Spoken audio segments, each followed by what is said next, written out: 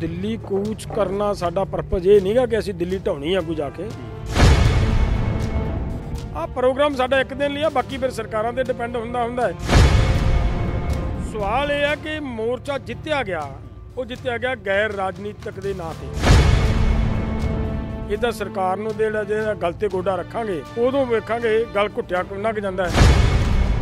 ਸਤਿ ਸ਼੍ਰੀ ਅਕਾਲ ਜੀ, ਦੈਨਿਕ ਸਵੇਰਾ ਟੀਵੀ ਦੇਖ ਰਹੇ ਹੋ ਤੁਸੀਂ। ਮੈਂ ਹਾਂ ਵਿਨਿਤ ਕਪੂਰ। 11 ਦਸੰਬਰ ਦੀ ਗੱਲ ਕਰ ਲੈਣਾ ਕਿਉਂਕਿ 11 ਦਸੰਬਰ ਨੂੰ ਕਿਸਾਨ ਜਿਹੜੇ ਨੇ ਸਿੰਘੂ ਬਾਰਡਰ ਸਣੇ ਦਿੱਲੀ ਦੀ ਵਰੂਹਾਂ ਤੋਂ ਆਪਣੇ ਘਰ ਵਾਪਸ ਪਰਤੇ ਸੀ।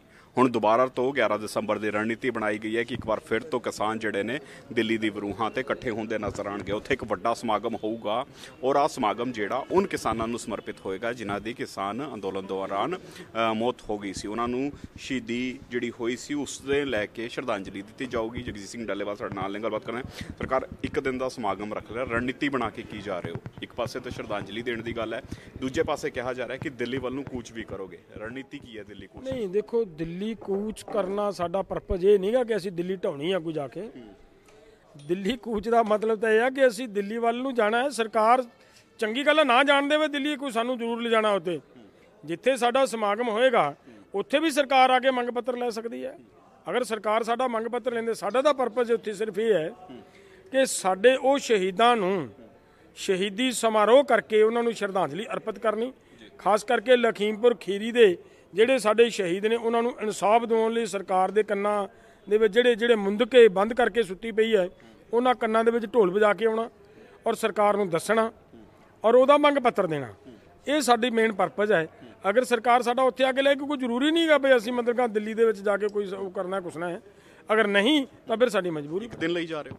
ਆ ਪ੍ਰੋਗਰਾਮ ਸਾਡਾ ਇੱਕ ਦਿਨ ਲਈ ਆ ਬਾਕੀ ਫਿਰ ਸਰਕਾਰਾਂ ਤੇ ਡਿਪੈਂਡ ਹੁੰਦਾ ਹੁੰਦਾ ਹੈ ਕਿ ਮੰਗ ਪੱਤਰ ਲੈ ਲੈਂਦੀ ਹੈ ਸਰਕਾਰ ਜਾਂ ਸਾਨੂੰ ਲੰਮ- ਸਮਾਂ ਬਿਠਾਉਣਾ ਚਾਹੁੰਦੀ ਹੈ ਉੱਥੇ। ਸਮਾਨ ਸਮੂਨ ਨਾਲ ਲੈ ਕੇ ਜਾਓ।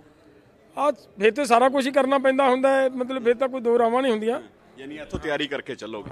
ਇਹ ਤਾਂ ਇਹ ਤਾਂ ਸੁਭਾਵਿਕ ਹੈ ਅੰਦੋਲਨ ਕਰਨਾ ਹੈ। ਅੰਦੋਲਨਕਾਰੀਆਂ ਨੂੰ ਤੇ ਆਪਦੀ ਮਤਲਬ ਸਾਡੇ ਗੁਰੂਆਂ ਨੇ ਸਿਖਾਇਆ ਹੈ ਕਿ ਘੋੜੇ ਦੀ ਕਾਠੀ ਦੇ ਉੱਤੇ ਰਹਿ ਕੇ ਉੱਥੇ ਹੀ ਨਹਾਉਣਾ, ਤੇ ਉੱਥੇ ਹੀ ਧੋਣਾ, ਉੱਥੇ ਹੀ ਖਾਣਾ, ਤੇ ਉੱਥੇ ਪਹਿਨਣਾ, ਉਹ ਸਾਰਾ ਕੁਝ ਉੱਥੇ ਹੀ।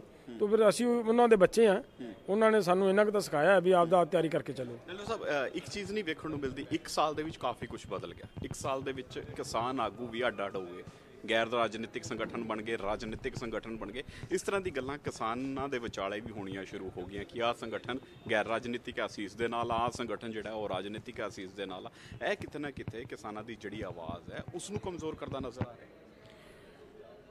ਤੁਹਾਨੂੰ ਪਤਾ ਹੈ ਕਿ 32 ਜਥੇਬੰਦੀਆਂ ਇਕੱਠੀਆਂ ਸੀ ਨਾ।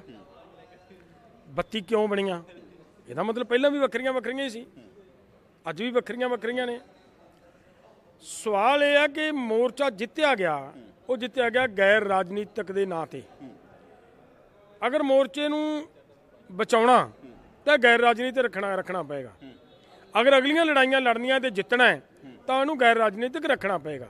ਔਰ ਇਸ ਕਰਕੇ ਇਹ ਸਾਰੀ ਭਾਵਨਾ ਨੂੰ ਧਿਆਨ 'ਚ ਰੱਖ ਕੇ ਮੋਰਚੇ ਨੂੰ ਗੈਰ ਰਾਜਨੀਤਿਕ ਰੱਖ ਕੇ ਚਲਾਉਣ ਦੀ ਅਸੀਂ ਕੋਸ਼ਿਸ਼ ਕਰ ਰਹੇ ਹਾਂ। ਔਰ ਸਾਡੇ ਵਾਹਿਗੁਰੂ ਨੇ ਸਾਡੀ ਬਾਹ ਫੜੀ ਹੈ। ਇਹਨੂੰ ਅਸੀਂ ਮਤਲਬ ਹੌਲੀ ਹੌਲੀ ਸਰਵਾਈਵ ਕਰ ਰਹੇ ਹਾਂ, ਅੱਗੇ ਵਧ ਰਹੇ ਹਾਂ। ਹੋਰ ਨਵੀਆਂ ਨਵੀਆਂ ਜਥੇਬੰਦੀਆਂ ਸਾਡੇ ਵਿੱਚ ਸ਼ਾਮਲ ਹੋ ਰਹੀਆਂ ਨੇ ਔਰ ਆਉਣ ਵਾਲੇ ਦਿਨਾਂ 'ਚ ਤੁਸੀਂ ਦੇਖੋਗੇ। ਅੱਡ ਅੱਡ ਹੋ ਗਏ। ਮਸਲਾ ਇੱਕ ਹੀ ਹੈ, ਮੁੱਦਾ ਇੱਕ ਹੀ ਹੈ, ਮੰਗਾਂ ਇੱਕ ਹੀ ਹੈ। ਲੇਕਿਨ ਅੰਦੋਲਨ ਅੱਡ ਅੱਡ ਹੋ ਗਿਆ। ਉਹ ਕਹਿੰਦੇ 26 ਤਰੀਕ ਨੂੰ ਅਸੀਂ ਰਾਜਧਾਨੀਆਂ ਦਾ ਘਿਰਾਵ ਕਰਾਂਗੇ ਅਸੀਂ ਗਵਰਨਰ ਸਾਹਿਬ ਨੂੰ ਮੈਮੋਰੰਡਮ ਦੇਵਾਂਗੇ ਤੁਸੀਂ ਕਹਿੰਦੇ 26 ਤਰੀਕ ਨੂੰ ਤੇ ਝੋਨੇ ਦੀ ਹਜੇ ਵਾਂਡੀ ਦਾ ਸਿਸਟਮ ਚੱਲ ਰਿਹਾ ਹਜੇ ਬਰਸਾਤਾਂ ਦਾ ਸੀਜ਼ਨ ਤੇਜ਼ ਹੋ ਗਿਆ। ਯਾਨੀ ਅੱਡ ਅੱਡ ਹੋ ਗਿਆ ਅੰਦੋਲਨ ਵੀ। ਨਹੀਂ ਉਹ ਸਮਝਦੇ ਹੋਣਗੇ ਮਤਲਬ ਇਹ ਹਰ ਇੱਕ ਜਥੇਬੰਦੀ ਹਰ ਇੱਕ ਵਿਚਾਰਧਾਰਾ ਨੇ ਆਪਣੇ ਢੰਗ ਨਾਲ ਸਟ੍ਰੈਟਜੀ ਤੈਅ ਕਰਨੀ ਹੁੰਦੀ ਹੈ। ਸਾਡੀ ਆਪਦੇ ਢੰਗ ਨਾਲ ਕਰਾਂਗੇ ਉਹ ਆਪਦੇ ਢੰਗ ਨਾਲ ਕਰ ਰਹੇ ਨੇ। ਤੁਹਾਨੂੰ ਪਤਾ ਹੋਵੇਗਾ ਉਗਰਾਹਾਂ ਸਾਹਿਬ ਮੁੱਖ ਮੰਤਰੀ ਦੇ ਵਾਰ ਚ ਬੈਠੇ ਨੇ। ਇਧਰ ਇਹਨਾਂ ਵੀਰਾਂ ਨੇ ਗਵ- ਗਵਰਨਰ ਸਾਹਿਬ ਦੇ ਜਾ ਕੇ ਬੈਠਣਾ ਹੈ ਤਾਂ ਵਧੀਆ ਗੱਲ ਹੈ। ਅਸੀਂ ਦਿੱਲੀ ਜਾ ਕੇ ਘੇਰਾਂਗੇ। ਤੋਂ ਇਹਦਾ ਮਤਲਬ ਚਾਰ ਛਪੇਰੂ ਸਰਕਾਰ ਨੂੰ ਘੇਰਾਂਗੇ ਫਿਰ ਅਸੀਂ। ਇਹ ਕੋਈ ਮਾੜੀ ਗੱਲ ਨਹੀਂ ਚੰਗੀ ਗੱਲ ਹੈ। ਇਸ ਨਾਲ ਆਵਾਜ਼ ਬੁਲੰਦ ਹੋਊਗੀ? ਨਹੀਂ ਆਵਾਜ਼ ਬੁਲੰਦ ਤੁਸੀਂ ਦੇਖਿਆ ਹੈ ਮੈਂ ਇੱਕ ਗੱਲ ਦੱਸਦਾ ਤੁਹਾਨੂੰ। ਆਪਾਂ 25 ਮਾਰਚ ਨੂੰ ਅੰਬ ਸਾਹਿਬ ਇਕੱਠੇ ਹੋਏ ਸੀ। ਤੁਸੀਂ ਦੇਖਿਆ ਲੋਕਾਂ ਨੇ ਮਤਲਬ ਕਿੱਡਾ ਹੰਗਾਰਾ ਦਿੱਤਾ ਹੈ? ਕਿਉਂ ਦਿੱਤਾ ਗੈਰ ਰਾਜਨੀਤਿਕ ਕਰਕੇ ਦਿੱਤਾ ਹੈ ਨਾ? ਇਲੈਕਸ਼ਨ 'ਚ ਤਾਂ ਉਦੋਂ ਵੀ ਵੀਰ ਖੜੇ ਸੀ। ਠੀਕ ਹੈ? ਉਸ ਤੋਂ ਅਗਲੀ ਗੱਲ ਹੈ ਜਿਹੜੀ।